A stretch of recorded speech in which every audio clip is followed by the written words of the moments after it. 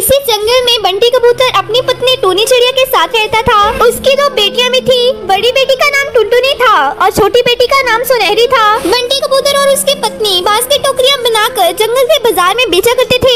एक दिन जब दोनों टोकरियाँ बेच रहे थे तो तभी आकाश में बादल घिर आते हैं। फिर तभी ज़ोर ज़ोर से बारिश आने लग जाती है। अजी, सुनते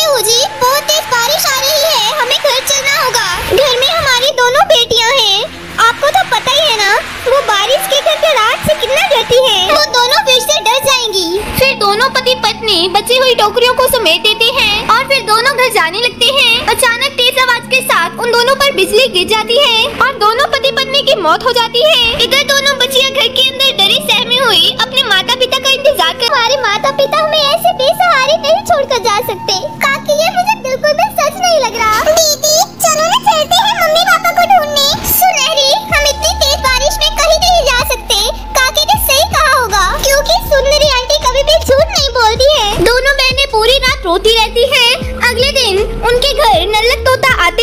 हैं अरे ओ बंटी के बच्चे। जल्दी से मेरा किराया दे वरना अभी के अभी घर खाली कर दे। हाँ। हमारे मम्मी पापा मर गए। कल रात ही उन पर बिजली गिर गई। हम अभी के अभी कैसे किराया लाकर दे सकते हैं? ये सब किराया न देने का बहाना है कहीं छुप गया होगा गेंडा सा। किसी ने छूटी खबर फैला दी होगी। और मैं तुम्हें इस घर में नहीं रहने दे सकता। निकलो मेरे घर से। लेकिन तू तो राम नहीं मानता। और दोनों बहनों को घर से बाहर निकाल देता है। दीदी हम कहाँ जाएँगे? बोलो छोटी बहन को लेकर बारिश में इधर उधर भटकने लगती है तभी उसे जंगल में बाँस के बड़े बड़े पेड़ दिखाई देते हैं। सुनहरी मेरी बहन तो यहाँ बैठ मैं थोड़ी बाँस इकट्ठा कर लेती हूँ उसके बाद उससे घर बना लूँगी। और यहाँ तो बहुत सारे फल के पेड़ भी हैं और यहाँ हमें भोजन की कमी भी नहीं होगी। फिर उसके बाद टुनटुनी उन बाँस से अपना घर बनाती है और पेड़ों से थोड़े फल तोड़कर अपने घर में रख लेती है। बारिश कई हफ्तों तक चलती रहती है। एक दिन अंधेरी रात को वह बाज उन दोनों घर पर आता है। एक सुनसान जंगल में ये घोंसला किसने बनाया? चलो अच्छा है। आज तो नरम नरम गोश्त खाने को मिलेगा।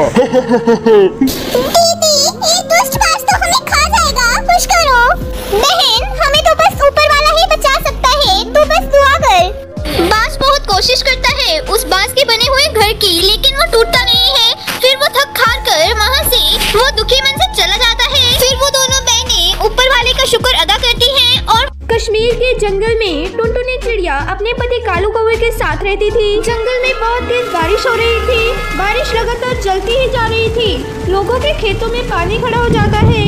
एक दिन टुनटुनी चिड़िया अपने पति कालू कौवे से कहती है, अजी, मैं कह रही हूँ कि जब बारिश खत्म हो जाएगी तो हम आइसक्रीम की खेती करेंगे।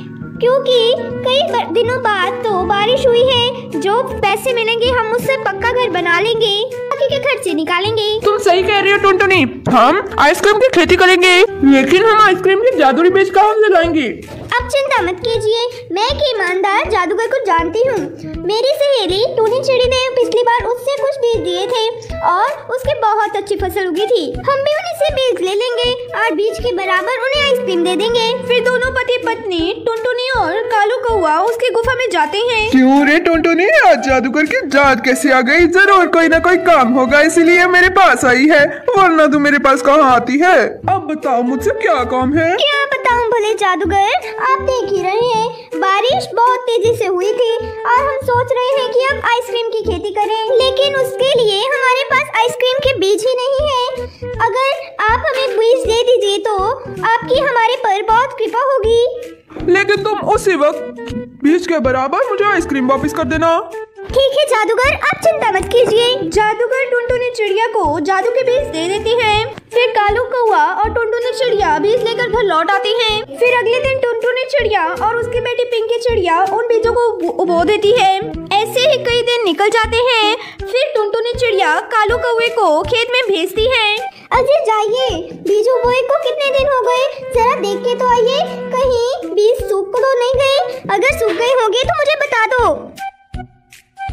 फिर को कौआ देखता है कि सचमुच में वो बीज सूख गए थे। अरे ये क्या? ये तो सारे बीज सूख रहे हैं। ऐसे तो मेरे सारे खेत खराब हो जाएगा। मुझे अभी के अभी इसकी सच्चाई करनी होगी। ऐसा कहकर कालू कौआ मुखिया के पास जाता है। अरे मुखिया जी मेरे खेत के बीज सारे सूख रहे हैं। अगर आप मेरे को पंप दे देंगे तो मैं अपने खेत की सिंचाई कर लूँगा। अरे चल भाग यहाँ से। मुझे अभी अपना खेत की सिंचाई करनी है। मेरे पास इतना टाइम ही है। कालू दुखी होकर अपने खेत में वापस लौट आता है। और किसी तरह पास की नदी में से पानी भरकर अपने खेत की सिंचाई करता है। फिर कुछ ही दिनों में कालू कौवे के खेत में आइसक्रीम की बूटियाँ लहराने लगती हैं। जब ये बात मुखिया के पास पहुँचती है तो वो उड़प पड़ता है और उनकी आइसक्रीम की खेती किसी तरह बर्बाद करने की योजना बनाने लगता है। उधर कालू कौवा और टुनटुनी चिड़िया भी अपने खेत को और उनके फलों को काटने की तैयारी करते हैं। कालू जी, हमारी फ़सल पक चुकी है। इसमें फल भी लग गया है। अपने घर लेकर आते हैं। अरे वाह, हमारी आइसक्रीम की फ़सल तो काट ली हमने। अब कल इसे बेचेंगे। पहले जादूगर के पास जाकर उसे बीज का हिसाब बराबर करके फिर अच्छे से अपनी फल को बेचेंगे। चलो, आप जाकर परोसती हूँ। दोनों पति पत्नी भोजन करके सो जाते हैं। अचानक मुखिया उनकी फ़सल को चुराने के लिए उनके घर घुस जाता है। अचानक से खटखट की आवाज़ सुनकर टुनटुनी चिड़िया की नींद खुल जाती है और वो चू चू कर कर शोर मचाने लगती है। टुनटुनी चिड़िया की आवाज़ सुनकर सभी पंछी इकट्ठा हो जाते हैं। फिर सभी उसे पीटने लगते हैं। वो बेचारा अपने किसी तरह जान बचाकर भाग लेता है और अगले दिन टुनटुनी चिड़िया कालू के साथ बाज़ार जाती है। आइसक्रीम ले लो आइसक्रीम रंग बिरंगी आइसक्रीम।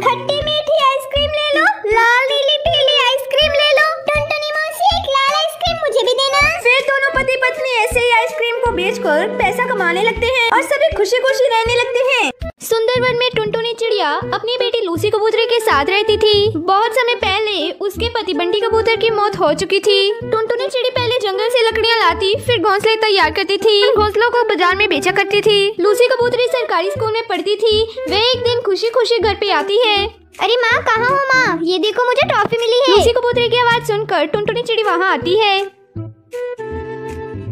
अरे वाह, ये ट्रॉफी तो बहुत ही सुंदर है। हाँ माँ, ये तो बहुत ही सुंदर है। आप जानती हो ना कि मैंने स्कूल में टॉप किया है। आज तेरे पिताजी होते तो ये ट्रॉफी देखकर बहुत ही खुश होते। चल जा, अब मुझे ये ट्रॉफी पकड़ा दे और जाकर मुँह हाथ धो ले। मैं ये ट्रॉफी को संभाल कर रख देती हूँ। अब लूसी कबूतरी मुँह हाथ धोने चली जाती है। थोड़ी देर बाद वो वापस आती है और खाना खाकर अपने दोस्तों के साथ खेलने के लिए चली जाती है। अगले दिन जब टुनटुनी चिड़ी लकड़ी के बने हुए घोंसलों को बेचने जाने लगती है तो तब उसे लूसी कबूतरी बोलती है, मम्मी, अब मेरी अगली पढ़ाई के लिए मुझे नदी के पार हाईवे स्कूल में एडमिशन करवाना पड़ेगा। तुम मेरे साथ चलकर मेरी एडमिशन करवा देना। लेकिन बेटा, वो स्कूल तो जंगल से काफ़ी दूर है। तुम अकेले कैसे जाओगी? टेंशन मत लो, माँ। मेरी सहेली पिंकी चिड़िया और पूरी चिड़िया भी वही स्कूल दाखिला करवा रहे हैं। चलो, ये तो अच्छी बात है। अब मैं घोंसले बेच आती हूँ। फिर कल तुम्हारा दाखिला हाईवे स्कूल में करवा दूँगी। ऐसा कहकर टुनटुनी चिड़िया घोंसले बेचने चली जाती है।